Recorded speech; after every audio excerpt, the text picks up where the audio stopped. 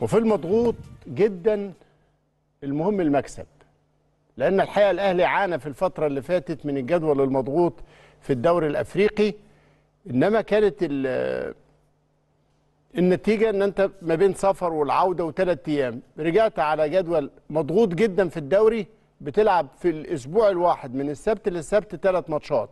بدأتها يوم السبت بفوز على المقاولين وتخطيت هذه العقبة الكؤود. ثم أنت بتجهز بكرة ال- أو بعد بكرة الاربع إن شاء الله الساعة 4 العصر مع سيراميكا كليوباترا في ملعب المقاولين في الجبل الأخضر. وتسافر للجونة عشان تواجه فرقتها الساعة 5 يوم ال- السبت إن شاء الله. من السبت للسبت ثلاث ماتشات تسع نقاط مهمين جدا. الأهلي حصد منهم ثلاث نقاط. سيراميكا ماتش صعب يا باشمهندس. نتكلم على شواهد الأسبوع ده أو ما مضى من المباراة نقوم نفهم الليلة ماشية إزاي. عشان أنت الحقيقة وأنا وأنت كنا عمال بقلب الكلام اللي كنا بنتناقش فيه قبل الهوا. إن إحنا كنا جايبين واحد عشان يصلح الأوضاع ويدي تدريبات تخصصية ويعالج العيوب بتاع المهاجمين والمدافعين و و و و. فأنا قلت لك أنا ربما الراجل ده ما يكونش عنده الوقت إنه يعمل شغله بأفضل طريقة لأن إحنا عمالين نخش في وقت مضغوط. لما جيت أحلل الشواهد أستاذ إبراهيم امم رغم إن بيراميد وفيوتشر اللي هي أندية القمة ما زال يتصدران المشهد ورغم إن الأهلي لعب ثلاث ماتشات كسبهم ها؟ امم لكن هل تقدر تقول إن أداء الفرق الصاعدة كان محسوما أمام هذه الفرق؟ لا. لا. بالعكس شفنا مفاجآت. المفاجآت دي جاية منين؟ ال- المدربين نفسهم اتكلموا مش مش مش الأهلي. قالوا ما عندناش وقت نصلح أخطاء ما عندناش وقت ندرب أنت يا بترجع عشان تريح الفرقة يا بترجع عشان آآ آآ تعمل استشفاء ويوم واحد بتتكلم على الماتش اللي أنت هتلعبه. الأهلي بيعمل بيحاول في النص يعمل حاجة. أرجو بقى ان ان ان, إن, إن كلنا نستوعبها وأولنا اللعيبة وال والجمهور أيضا والناس المهتمة لأن الحقيقة عدد الناس اللي بيتكلموا في كوره وفاهمين فيها كويس قوي بقى متاح لهم يقولوا رأيهم.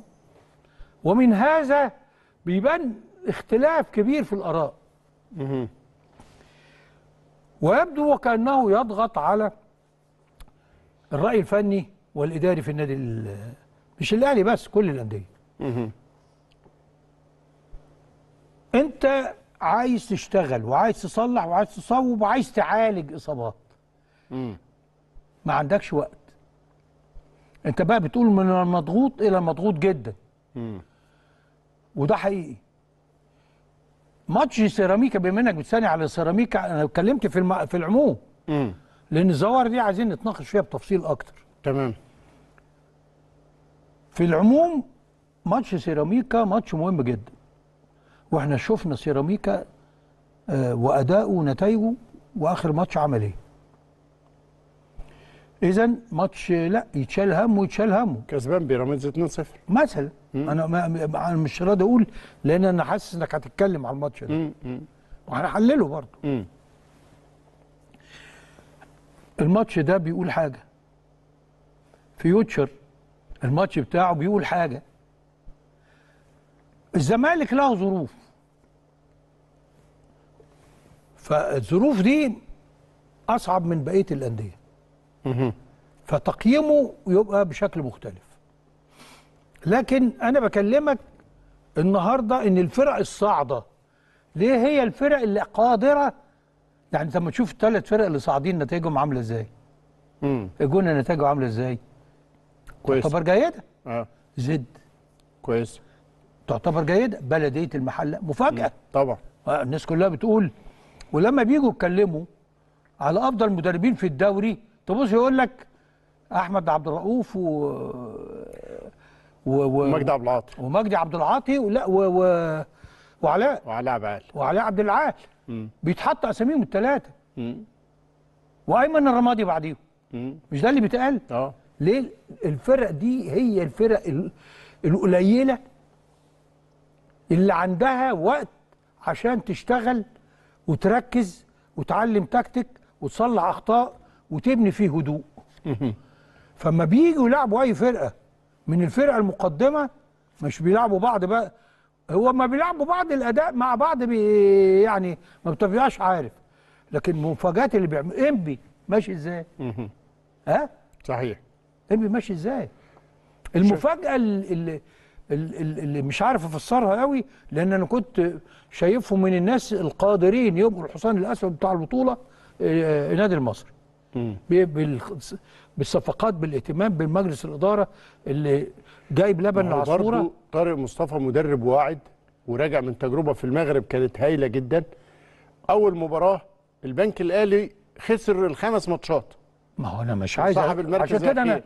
فيكسب المصري أربعة. آه يعني فعشان كده بقول لك المصري حالة مش عارف إن أنا يعني في حاجة هم عارفينها بس أنا مش عارفها. مم. وما أعرفش حضرتك تعرفها ولا لأ. مم. لأن ده مش طبيعي.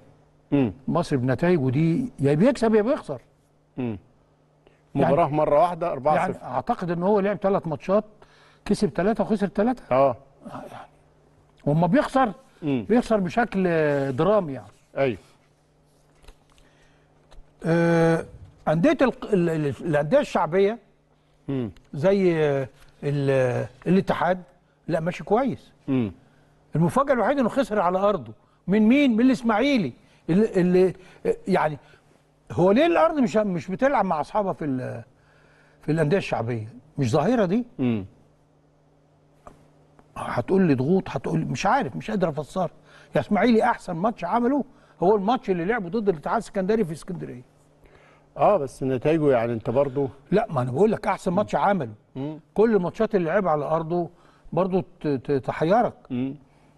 خسر آه. أربع ماتشات من السته إيه؟ خسر أربع ماتشات من السته لا. يعني لا أظن خسر أربعة. خسر ثلاثة وتعادل اثنين وكسب واحد. ولا هو عنده أربعة بونت ولا عنده خمسة؟ قولوا لنا أنا مش فاكر. الجدول يا حد بيراميدز أهو المتصدر. بيراميدز متصدر 13 آه. ومودرن فيوتشر 12 وزد 12 والاتحاد السكندري 11 إنبي 10 طلائع الجيش 10 والأهلي 9 المصري 9 برضو. المصري من ست ماتشات. ما أنا بقول لك كسب ثلاثة وخسر ثلاثة آه. والزمالك 8 نقاط والجونة 8 نقاط متساوي مع الزمالك. يعني لما يكون سموحة والجونة والبلدية متساويين مع الزمالك آه، حاجة كويسة ليهم. سيراميكا سبع نقاط الإسماعيلي لعب ستة فاز في واحدة وتعادل في واحدة وخسر أربعة. فاز في واحد وتعادل في واحد آه وخسر. أربعة. وخسر أربعة. آه. آه. كتير. فاركو أربع نقاط برضو. يعني نفس رصيد الإسماعيلي هو والداخلية.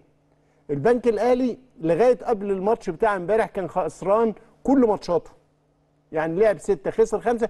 الماتش الوحيد اللي كسبه كسب فيه المصري 1 0 4 0 المولين طبعا متعثر جدا في الست ماتشات. وده لغز الألغاز. ما فازش حتى الآن. اتعادل ماتشين منهم ماتش مع الزمالك وخسر أربع ماتشات.